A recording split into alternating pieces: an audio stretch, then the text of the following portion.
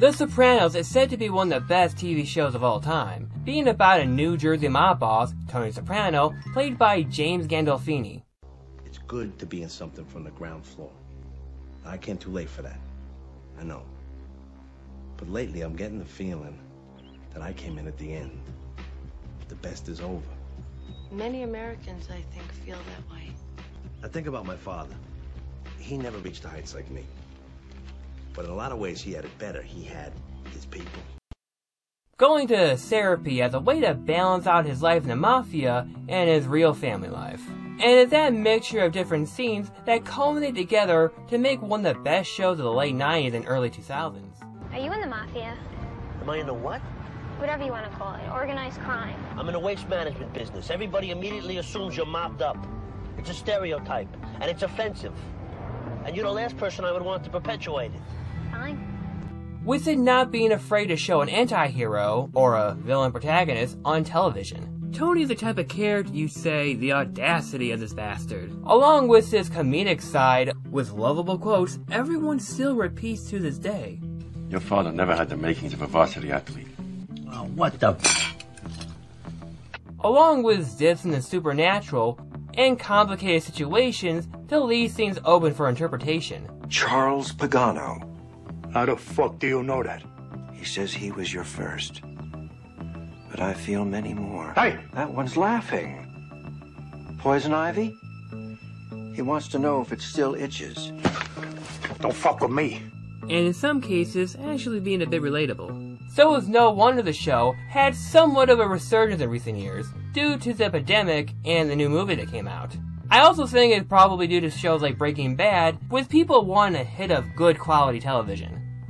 But did you know there was a game based on the series for the PS2? When I heard about it, I thought it would have been like, I don't know, a GTA 4 clone, where you play as Tony or something. Though I kind of sort of fucked up the timeline, so technically it would have been more like Vice City starring Tony Soprano which actually isn't too far off to similar games. The tie-in games for their inspirations, The Godfather and Scarface, actually had decent games that played well into the source material, and they were made around the same time.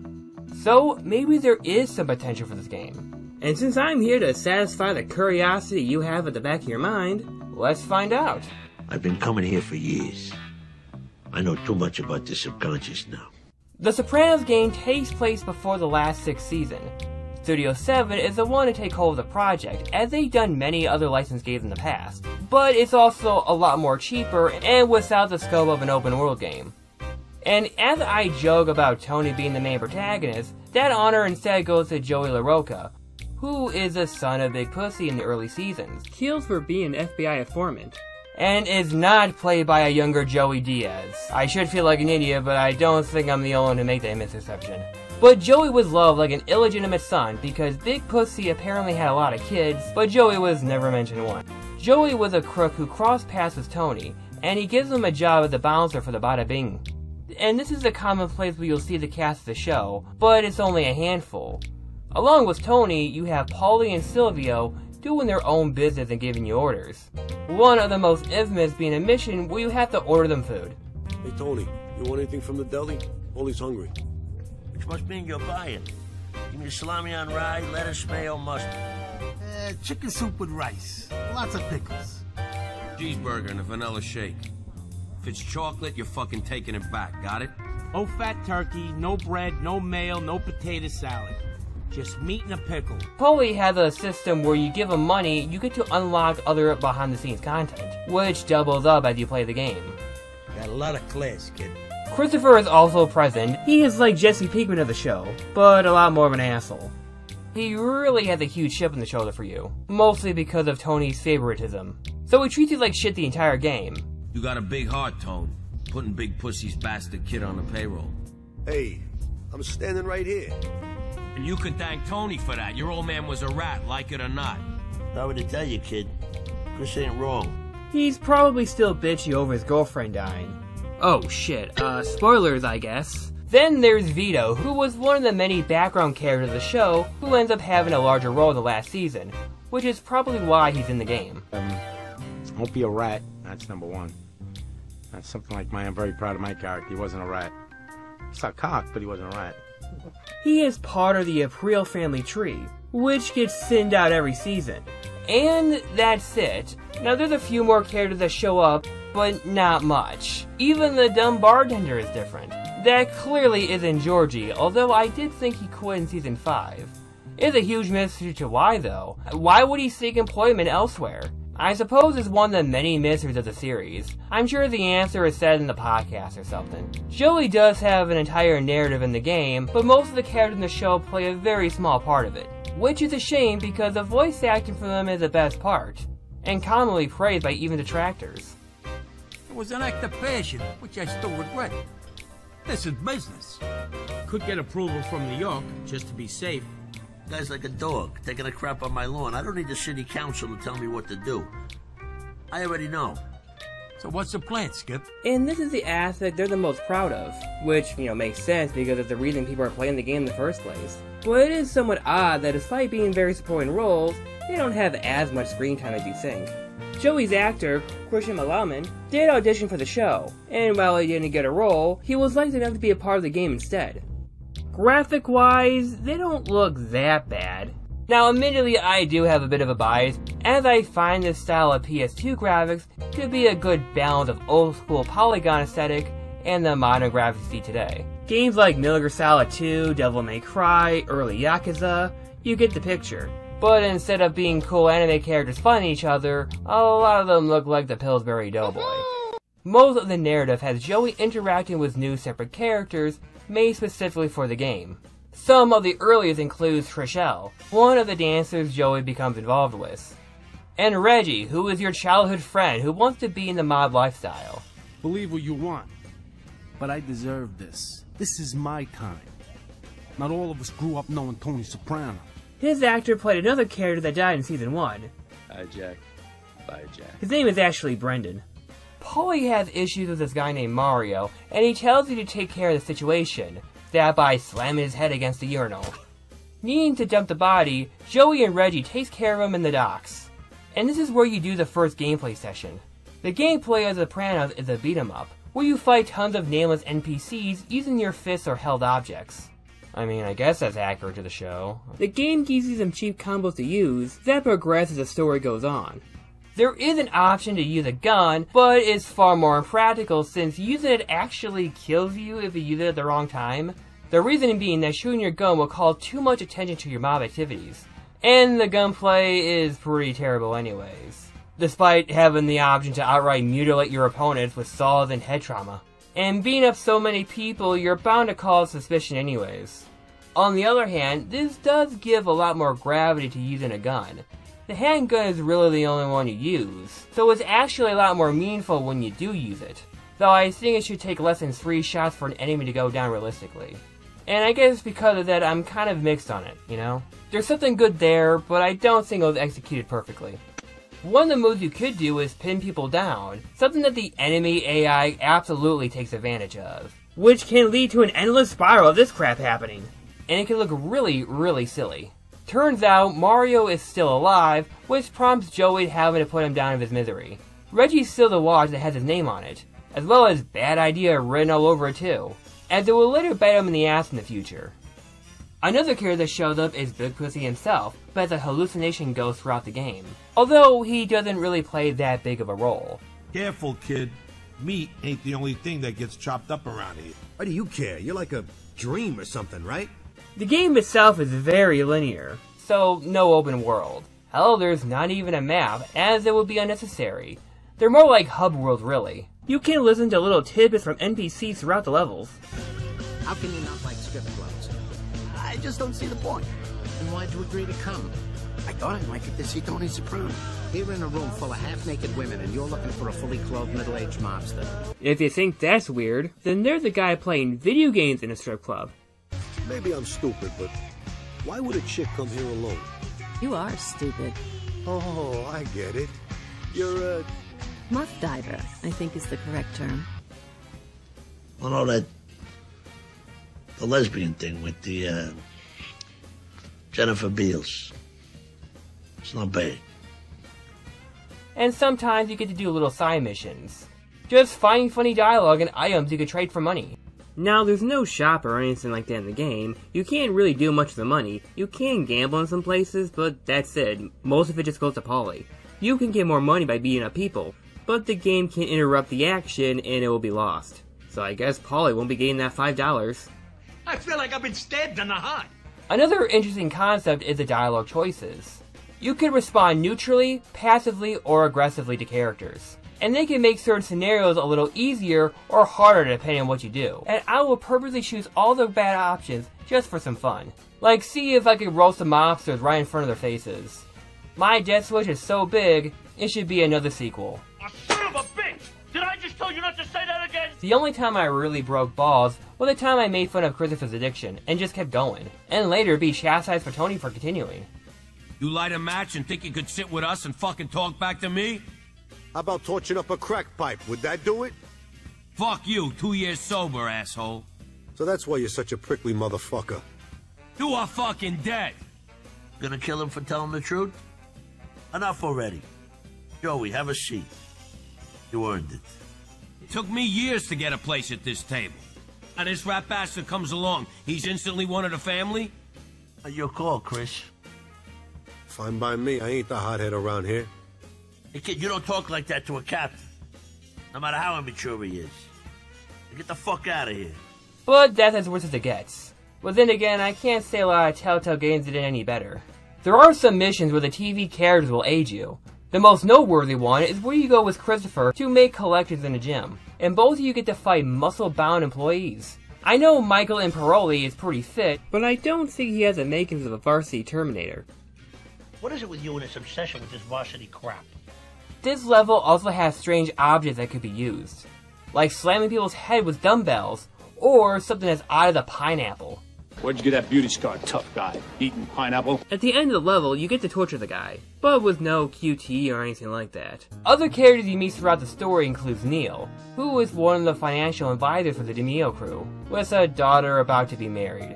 He is also a drug-addicted sex pig. Now Neil is a very odd character in the game. The full character's name is Neil Cammarata. Now there are other legal advisors that share his name. There's Neil Mink, who is the main lawyer Tony uses throughout the show, especially in later seasons, who he seems to have a positive relationship with. Known for his love for ketchup.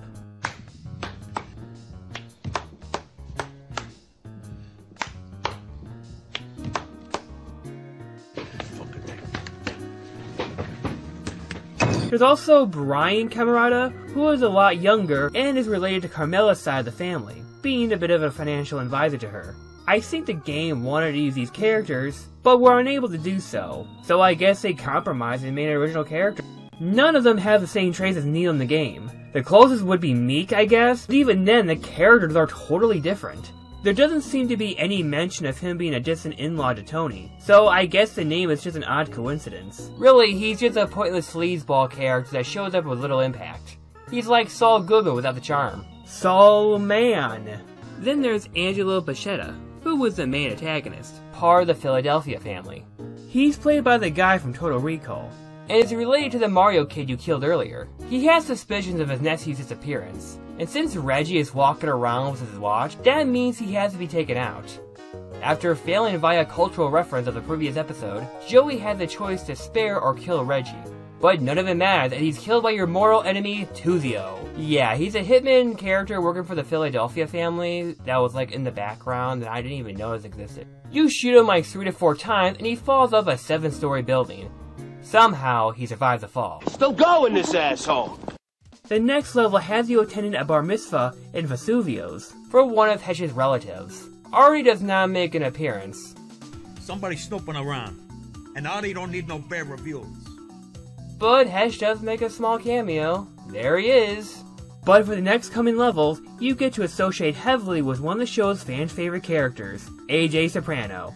Joey agrees to help AJ as security for his party. This is during his event planning phase, which, as you can see, it's not very successful. At the beginning of the level, you get to beat up this punk named Frankie, and slamming his head in the toilet. But as it turns out, he is actually an associate of AJ's. Oh, I didn't know you were AJ's friend. You made me eat shit, literally! As he does business with Desmond, an enforcer of the Jamaican gang. They ruin the party and stab his friend, killing him in the process. This is a very interesting scenario because it shows AJ having to put up with the death of a friend. Oh, and they also steal AJ's car, which gets stolen all the time throughout the game. And it's because of this whole scenario, AJ ends up getting more screen time than all the other characters on the show. Joey tries to get the car back multiple times. He tried to keep it a secret from Tony since messing around like this could be very dangerous for him. Joey gets the car back by beating everyone up in a garage. And this is probably the most annoying part because like three people gang up on you with hammers and knocking you down over and over and just wailing on you. After defeating the Jamaican gangsters, he gets the car back, but Paulie forces you to meet up with the Neil lawyer I talked about earlier. Don't worry, I got it. Paulie? It's something for AJ. I, I borrowed a video game. After meeting with Neil, you meet some higher up goons from the Philadelphia gang, They steal your car once again. Later, AJ gets apprehended by the Jamaican gang in the gym, leading him to be held hostage and knocked out while Joey takes care of him. Having all this happen to AJ should shake things up for his character arc. With AJ in the hospital, Tony finds out what's been going on. I brought you in. A lot of people said don't trust the little bastard. I rolled the dice, and now you got him throwing dope parties and being stalked by the Mulunyan? I was just trying to help AJ. You should have called me. Hey, I got him out alive, Tony. Mission accomplished. Well, lucky you're alive, you little shit. One lucky son of a bitch. If this kid had gone down, you'd be dead, Junior. Now get the fuck out of here and get me a coffee. In the meantime, you stumble upon other dealings in the hospital, including drug trafficking and a fake robbery or something. Never open. Don't know how they can stay in business. Can you get what you're looking for anyplace else? Not really. That's how they stay in business. And you get drugged and seen triple. I guess this is a way to adapt some of the dream sequences or something, I'm not really sure. And there's also the mission where you kill Tuzio from earlier. Yeah, I really wasn't joking when I said he was alive. Well, not anymore. Cost ten cents across a bridge. I don't have ten cents. I think I peed my pants. You look like my nephew, Malcolm. How are you, Malcolm? Sorry, you must be confused. I want to go back to Miami. Could you take me to Miami, Malcolm?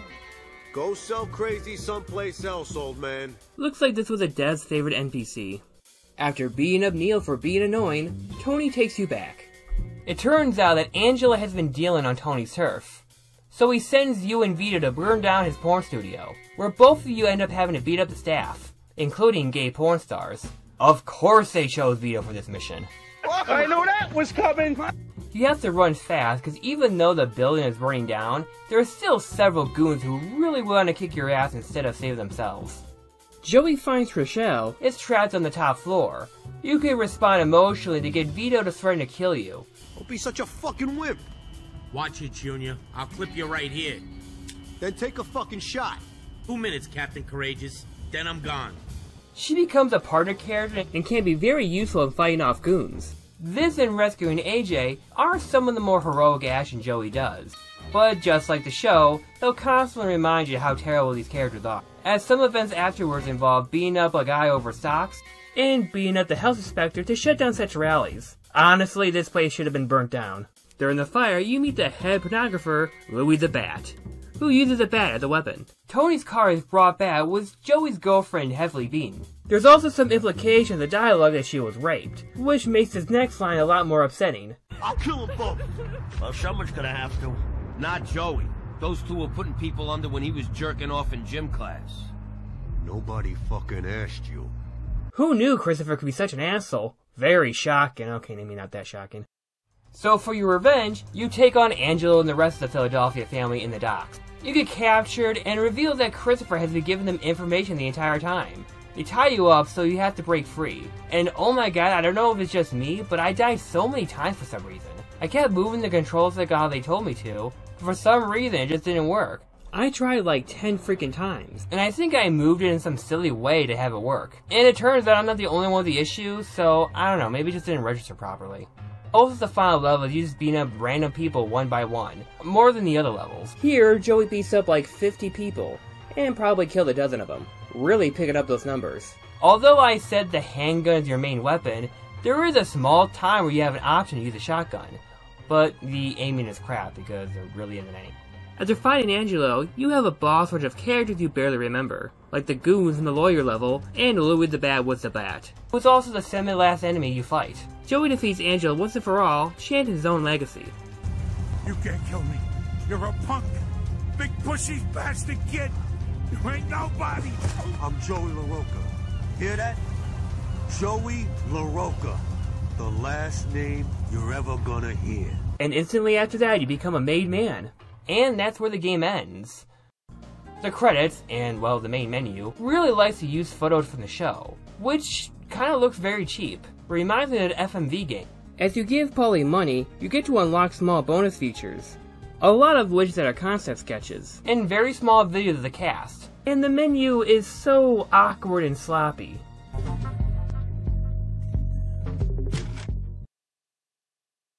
Never wear a dead man's watch, especially if you whack the guy.